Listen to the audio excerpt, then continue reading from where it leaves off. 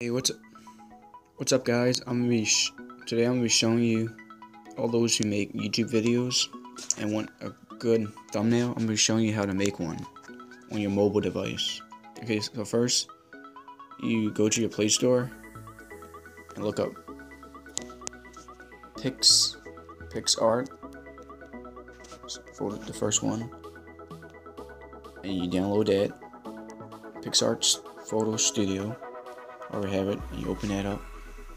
This is a good photo edit, edit editing app to edit your vid um, photos and stuff. Okay, then you go to edit. Pick one of your. This is where I make all my thumbnails for my video. As you can see right here, this one right here.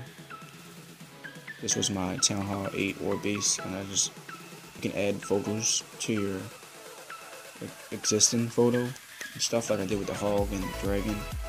You can change the color of the of your text, like I did right there. Pretty decent app and it's free. Okay, so you edit this. I'll show you all the tools you have to edit this video, this photo. I mean, tools. You can crop it, um, shape it, resize it, Okay, and then add photos. all that. Okay, hope you enjoyed. And I'm out. Peace.